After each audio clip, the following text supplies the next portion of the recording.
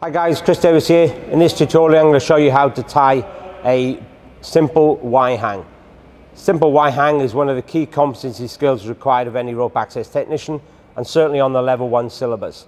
So to start with, pick up my rope and identify the middle of the rope. And I'm just going to tie an alpine butterfly here to identify the middle of that rope. It could indeed be an overhand knot or it could just be a little bit of tape to indicate where the, the center is. So tie your alpine butterfly.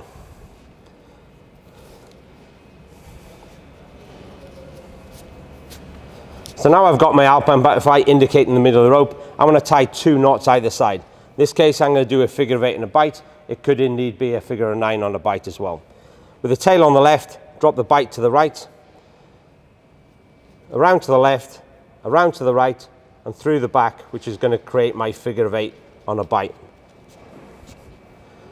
Duplicate that on the other side of the knot, tail on the left, drop the bight to the right, move around to the left, around to the right and back through the hole again, identical to the first knot you've just tied, pulling the sl slack through. So now we've got two figure of eights tied or figure eight and a bights and the alpine butterfly is going to be bang in the middle.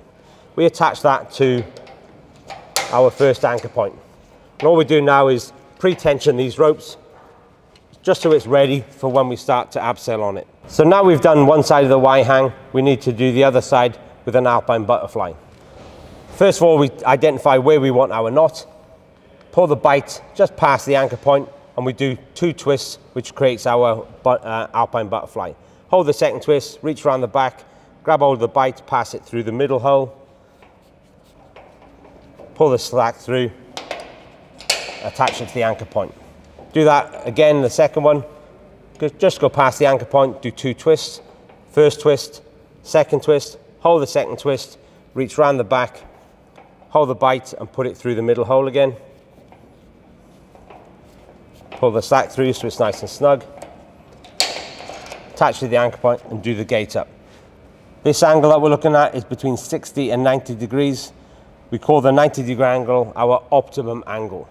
The optimum angle at 90 degrees gives us, with 100 kilos of a load here, gives us approximately 71 kilos either side or 71% either side the optimum angle 90 degrees.